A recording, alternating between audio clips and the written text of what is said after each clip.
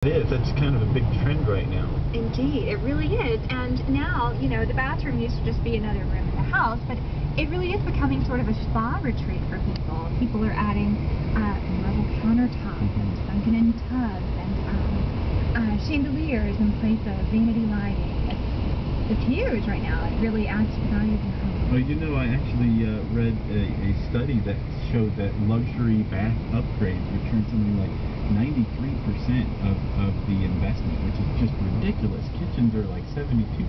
Isn't that wild? It and, is wild. And you know, it's funny, Josh, because the kitchen really used to be sort of the place where people would go to gather, you know, and